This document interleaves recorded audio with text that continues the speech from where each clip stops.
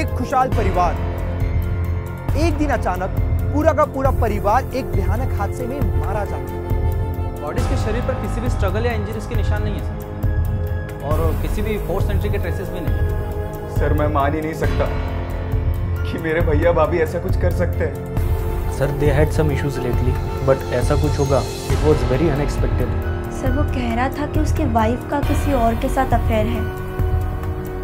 Doctor कौन doctor आज party बहुत अच्छी थी ना? उसके हॉस्पिटल में स्नेहा के बारे में कुछ रूमर्स थे? अब आपको कुछ बताना था सब। आखिर वो कौन था जिसने रातों रात पूरे परिवार को मौत के घाट उतार दिया? आखिर क्या था इस हत्या या आत्महत्या के पीछे का कारण?